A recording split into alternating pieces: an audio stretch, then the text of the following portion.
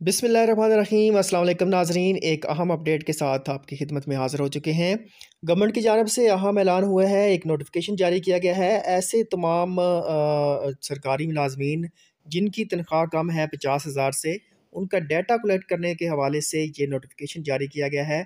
और इसके मतन में अगर देखा जाए तो इस लेटर में ये बताया गया है कि ऐसे तमाम सरकारी मुलाजमीन जिनकी तनख्वाहें जो हैं वो पचास हज़ार से कम हैं उनका डाटा फिल फॉर जो है वो फ्राहम किया जाए, ताकि इन मुलाजमीन के डाटा जो है वो यूटिलिटी स्टोर्स कॉरपोरेशन को दिया जाए और ऐसे तमाम मुलाजमीन को एहसास राशन प्रोग्राम की जो सब्सिडी प्रोग्राम है गवर्नमेंट का, उसमें शामिल किया जाएगा।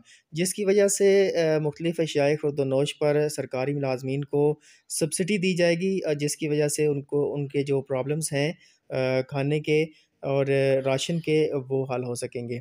तो नाजरीन, ये थी आज की अपडेट। उम्मीद है कि आपको ये अपडेट पसंद आई होगी। अल्लाह हाफिज़।